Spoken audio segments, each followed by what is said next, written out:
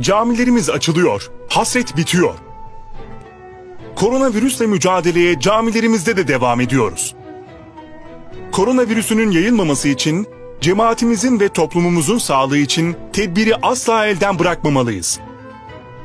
Bunun için camilerimizde şu kurallara dikkat edeceğiz. Camilerimizde abdesthaneler kapalı olacak. Bu nedenle her birimiz abdestimizi evde alarak camiye gelmeli. 2. Camiye ağız burun maskesiyle gelmeliyiz. Maskeyi camide bulunduğumuz süre boyunca hiç çıkarmamalıyız. Camide herkes kendi eşyasını sadece kendisi kullanmalı. Bu nedenle camiye giderken şunları götürmeyi unutmamalıyız. Takke, maske, Kur'an, seccade, tesbih. 4.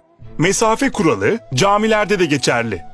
Camiye giderken, caminin içinde ve camiden çıkarken, kısacası her yerde bu kurala uymaya özen göstermeliyiz. 5. Camiye bir buçuk metrelik mesafeyi koruyarak sırayla girilecek. Girişte ellerimizi dezenfekte etmeliyiz. 6. Camiye girerken görevli kişiye isim kaydımızı yaptıracağız. Bu esnada sıra oluşması durumunda bir buçuk metre mesafe kuralını ihlal etmemeli, kalabalık oluşturmamalıyız. 7. Mescitlerde seccademizi işaretli olan yerlere sermeliyiz. 8.